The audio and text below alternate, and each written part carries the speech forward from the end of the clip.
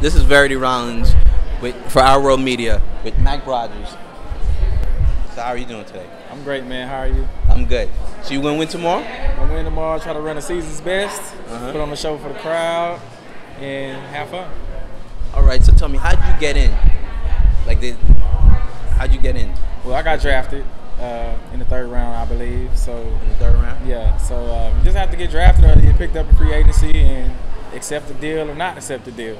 Okay. Are you happy? I'm happy. Excited? I'm happy. I'm excited uh, to be back home right now. I'm happy not to be in Europe right now eating nasty food, and I can go back home to my family on Friday. So yeah. Oh, okay.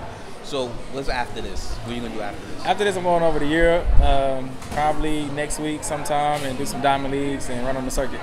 Okay. So like, what are you gonna run? Uh, just hundreds, and uh, we got relay camp coming up for world champs uh, in Monaco. So getting ready for that as well. All right. So you think you're in the best shape of your life right now?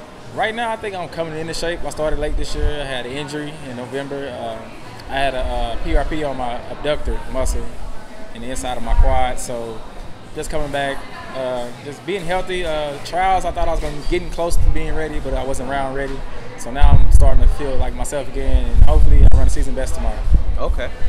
So Olympic gold in your future? Olympic gold in the future, somewhere on that podium in the future at the Olympics, and go out like a champ. Well, you know you represent New York, so you know.